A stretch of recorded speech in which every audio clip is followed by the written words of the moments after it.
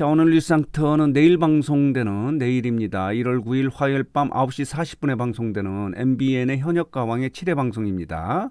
본선 3차전 1라운드 한국 대결을 좀 재밌게 볼 수 있는 관전 포인트 중심으로 말씀을 드려보도록 하겠는데요. 한국 대결은요, 어, 본선 3차전에 올라온 18개 팀이요, 9개 대결을 펼치는 거예요. 두 명이 하나의 노래를 부르는 건데, 어, 지난주에 6회 방송에서 두 개 대결이 펼쳐지지 않았습니까? 김다연하고 김양, 그리고 요요미와 박혜신의 대결이 펼쳐졌는데, 관심을 끄는 부분은요, 뭐냐면 이 부분이에요. 어, 김다연이요, 이 한국 대결에서 너무 낮은 점수를 받지 않았습니까? 김양이 277점을 맞았고 김다연은 82점을 맞았어요. 그렇기 때문에 자 내일 방송에 어, 후반부에 있는 뒤집기 한 판에서 어, 이 김다연이 얼마나 극복을 해서 다음 라운드에 올라갈 수 있을지 하는 부분이 이제 초미의 관심거리예요. 그런데 자 이렇게 어, 김다현이 막 눈물을 쏟는 그런 장면이 많이 나와요. 그러면서 어, 신동엽이 부랴부랴 이제 현장을 수습하는 모습이 있었는데 자 보도록 하겠습니다.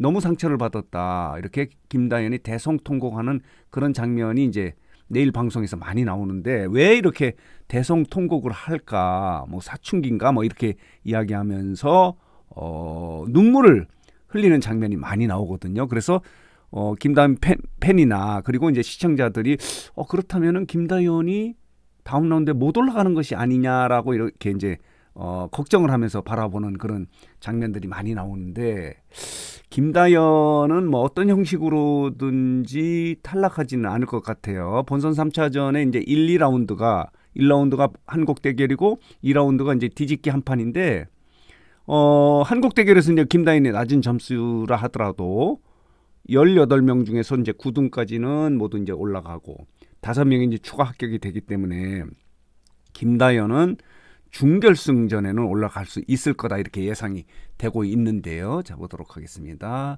예고 영상을 한번 보도록 하겠습니다. 자 보도록 할게요. 이렇습니다. 자 이렇게 1월 9일 화요일 밤 9시 40분에 방송되는 한국 대결이에요. 자 내일 방송되는 한국 대결 중에서 관심을 끄는 부분은 뭐냐면요.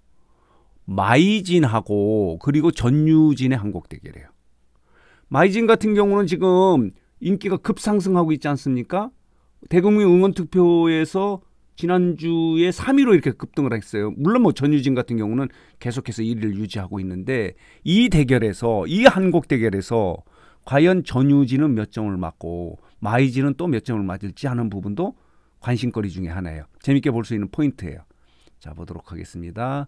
상위권의 현역 9명만 중결승전에 직행하고 나머지 5명은 추가 합격 형식으로 중결승에 직행하는 것이 이제 본선 3차전 그리고 내일 방송되는 것은 그 3차전의 1라운드 한국 대결이다.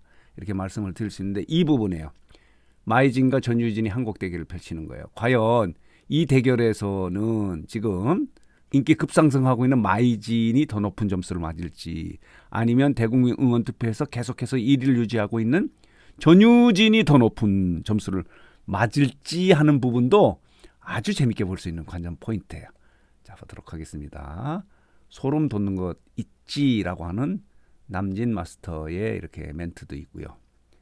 현역 9명이 이제 방출이 되는 거예요. 그러나 모두 방출되는 건 아닙니다. 그 중에서 다섯 명은 추가 합격 형식으로 올라가고 최종적으로는 네명이 떨어지는 거예요. 18명 중에서 네명을 골라내는 것이 본선 3차전이다.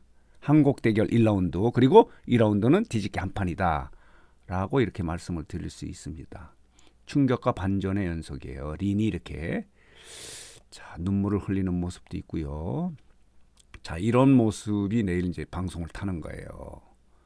마이진과 전효진이 대결을 펼치고 이렇게 힘겨워하는 모습, 무대 뒷모습도 있고요. 자, 이렇습니다. 이렇게 방송되는 것이 자, 이렇게 어, 현역과 왕의 7회 방송이다. 아, 그렇습니다. 자, 보도록 하겠습니다. 기회는 한번 모조리 쏟아내라 라고 하는 이런 자막이 있습니다. 린의 모습도 있고요. 오직 강자만이 살아남는다 라는 이런 자막이 있습니다.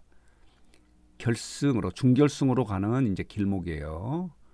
조정민은 또 어떤 결과를 보일지 준결승행 티켓을 바로 받을지 직행할 수 있을지 아니면 추가 합격으로 갈지 하는 부분이 이제 관심거리다. 자 이렇게 말씀드릴 수 있어요. 강현의 모습도 있고요. 전유진이 이렇게 눈물을 흘리는 모습인데 왜 눈물을 흘릴까요? 점수를 못 받아서 이렇게 울상을 지을까요? 아니면은 높은 점수를 받아서 이렇게 눈물을 지을까요? 하는 부분도 재밌게 볼 수 있는 관전 포인트예요. 자 보도록 하겠습니다. 이런 모습으로 진행되는 것이 현역 가왕의 7회 방송 본선 1라운드 한국 대결과 그리고 방송 후반부의 2라운드인 뒤집기 한 판이 진행되는 것이 7회 방송이에요. 내일 방송이에요. 자 보도록 하겠습니다. 이런 모습입니다. 자, 이렇게 김다현이요. 계속해서 우는 모습이 많이 나와요. 왜 이렇게 눈물을 흘릴까 하는 부분도 관심거리예요.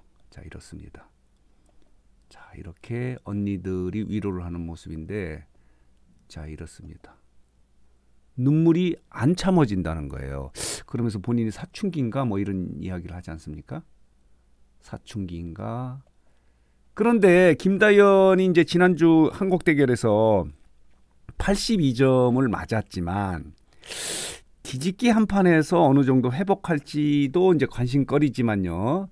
설령 설령 어 9명의 9등까지 들어가지 못했다 하더라도 김다현을 뺀 현역 가왕은 생각하기 좀 곤란할 것 같아요. 그렇기 때문에 아마 추가 합격 형식으로라도 다운 라운드 준결승전에 올라가지 않을까 이런 예상이 되긴 해요. 이런 부분은 좀 예상이 예측이 가능한 그런 부분이다 이렇게 말씀을 드릴 수 있는데 신동엽의 이렇게 진행 능력에 대해서도 어, 좋은 평가가 나오고 있지 않습니까? 대단해요. 어, 이 추가 합격을 그러니까 방출 후보를 최종적으로 결정하면서 힘겨워하면서 하는 그 리얼한 모습이 또 많은 어, 호평을 받고 있지 않습니까?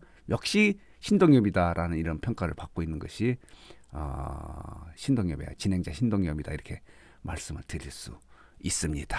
자, 그래서 오늘 뉴스 장터는 내일 방송되는 어, 현역 가방의 7회 방송입니다. 본선 어, 3차전의 1라운드 그리고 방송 후반부의 2라운드인 뒤집기 한 판을 재밌게 볼 수 있는 관전 포인트 중심으로 말씀을 드렸는데요.